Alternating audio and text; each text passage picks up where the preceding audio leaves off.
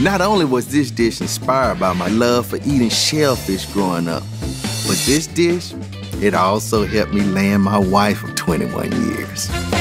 I'm Jernard Wells. I'm a chef, cookbook author, restaurateur. And my fried Hall of Fame dish, let me tell you. Cajun king crab legs fried with a bacon skillet corn. Mm, that deserves a trophy all by itself.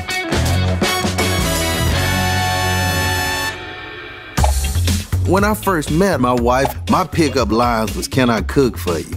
Look, because I figured, hey, if I cook for you, then I knew I would have you.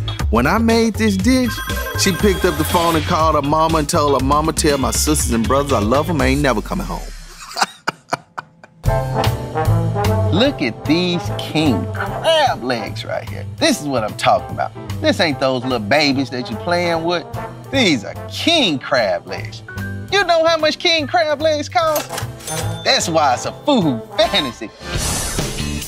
I've already taken the liberty to boiling my crab legs. Old Bay seasoning, bay leaves, and lemon juice so we can have that flavor already in them. We have those sitting here cooling.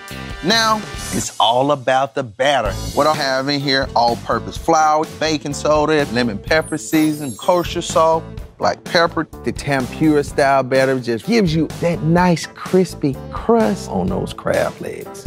One of the keys to making that tempura batter really come to life, you wanna have you some nice good club soda, sparkling water, or seltzer water.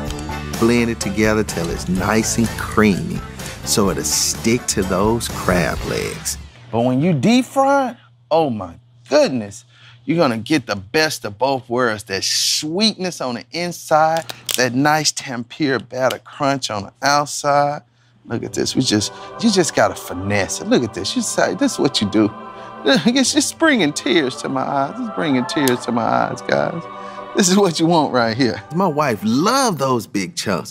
This is one of those things, when I was a child, I used to dream about eating king crab legs. You know, going into the fish markets with my mom and dad and just looking at how big those king crab legs is. I knew it was nothing but sweet, juicy meat in them. This is it right here. Batter. We're gonna layer them in nice and easy. And my mouth is already salivating. Remember, we've already boiled the crab legs, so they're already done. We just want that crust on the outside to get nice and crispy. All about the crunch and the softness at the same time. Pull them out of the fryer when they're perfectly golden brown. Then it's time to start on that sauteed skillet corn. Hickory bacon, some diced onions, some diced bell peppers right over the top of that bacon. So when we add this corn to it, now if you don't want to go through shaving fresh corn, you can shortcut it and use a can, but guess what? This is food fantasy. We shaving this off the cob. Just takes hold of it all. Ooh, this right here just smells amazing to my nose. So I lay those fried king crab legs right over the top of my skillet corn. Then I have my Creole sauce, which is made with hot sauce, chili powder, cayenne pepper, butter, and brown sugar.